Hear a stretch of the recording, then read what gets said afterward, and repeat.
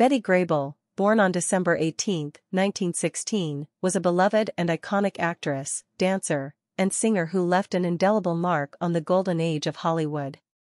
Known for her radiant smile, infectious charm, and stunning legs, Grable became one of the highest-paid actresses of her time and a popular pin-up during World War II.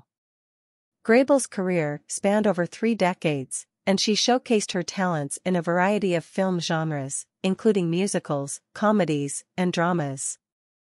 Her energetic and charismatic performances in films such as Down Argentine Way, How to Marry a Millionaire, and Mother Wore Tights endeared her to audiences worldwide. Beyond her acting skills, Grable's exceptional dancing ability set her apart.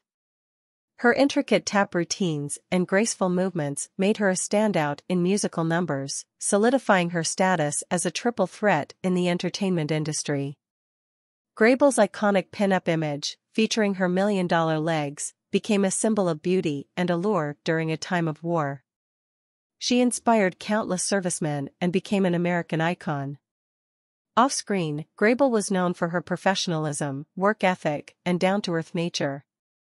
She had a successful career in both film and stage, and her performances in live theater, including her portrayal of Annie Oakley in Annie, Get Your Gun, were met with critical acclaim.